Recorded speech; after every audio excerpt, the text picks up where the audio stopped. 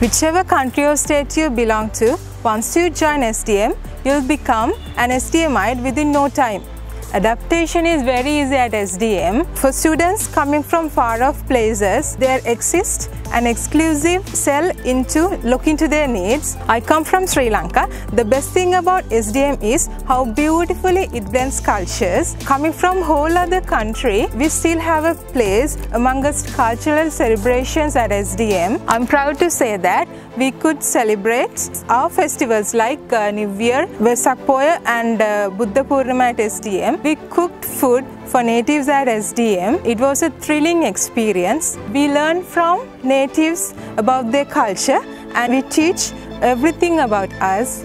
The exchange and the experience that comes with it are priceless.